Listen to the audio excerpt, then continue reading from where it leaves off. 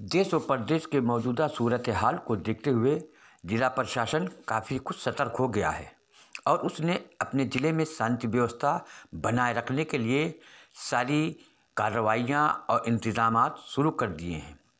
आज देर रात जिला इस बात को प्रशासन द्वारा जिलाधिकारी शंभू कुमार डीएम साहब द्वारा पुलिस अधीक्षक डॉक्टर गौरव ग्रोवर और दूसरे अधिकारियों द्वारा रात गश्त करते हुए घंटाघर चौराहे पर माहौल चल रहा है शहर और ज़िले के विशेष अधिकारियों के साथ बैठकर विचार विमर्श किया और लोगों से भी शांति व्यवस्था बनाए रखने की अपील की। करने के लिए या सोशल मीडिया के माध्यम से किसी भी अधिनियम या एक्ट के संबंधित जो भ्रामक जानकारियाँ फैलाई जा रही हैं उस बारे में भी बताया गया है। सोशल मीडिया सेल हमारा एक्टिव है 24 घंटे में लगातार नज़र रखे हुए है।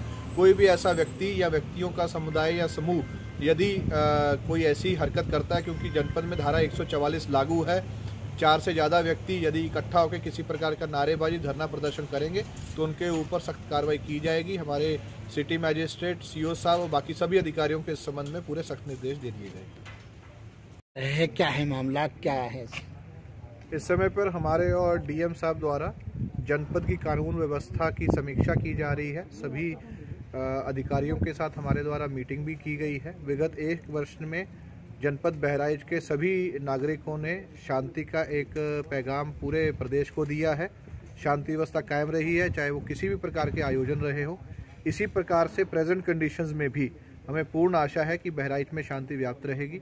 साथ ही साथ मैं सभी को ये भी सूचित करना चाहता हूँ कि धारा 144 पूरे जनपद में लागू है। जिसका कि ये मतलब है कि कहीं पर भी चार से ज़्यादा व्यक्ति इकट्ठा होकर किसी प्रकार का धरना प्रदर्शन या किसी प्रकार की नारेबाजी नहीं कर सकते हैं। ये चेतावनी भी है उन लोगों के लिए जिनके द्वारा छुप करके ऐसी प्लानिंग्स की जा रही हैं। हमारे द्वारा सोशल मीडिया के ऊपर भी नज़र रखी जा रही है।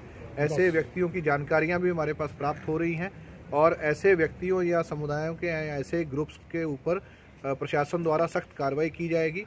किसी भी आयोजन के लिए प्रॉपर उसकी परमिशन लेना ज़रूरी है। बिना परमिशन के कोई भी ऐसा आयोजन, धार्मिक, राजनीतिक या कोई भी ऐसा अगर किया जाता है तो उसके ऊपर कार्रवाई की जाएगी।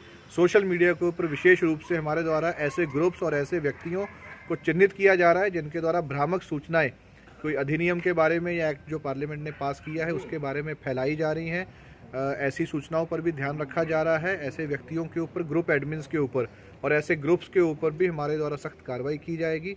मैं सभी को अमन चैन बनाए रखने के लिए, शांति व्यवस्था कायम रखने के लिए, जैसा कि सहयोग बहराइच के प्रशासन को उन्होंने विगत महीनों में दिया है, आने वाले दिनों में भी ये देंगे, इस चीज़ की हमें पूर्ण आशा है।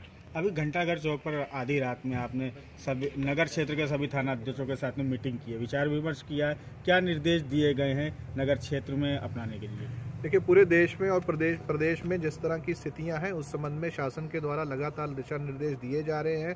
उन्हीं दिशा निर्देशों को अ, हमारे पुलिस फोर्स और प्रशासन के सभी अधिकारियों तक ग्राउंड लेवल तक वो दिशा निर्देश पहुँचे और किसी भी परिस्थिति में हम लोगों द्वारा क्या कार्रवाई की जानी है और क्या उसमें एक्शन लिया जाना है उस बारे में भी बिल्कुल क्लियरली बता दिया गया है। किसी भी हालत में अराजकता को बर्दाश्त नहीं किया जाएगा। लॉ एंड ऑर्डर को बिगाड़ने के लिए यदि कोई भी किसी प्रकार की गतिविधि करेगा तो उसके ऊपर सख्त कार्रवाई की जाएगी। धन्यवाद।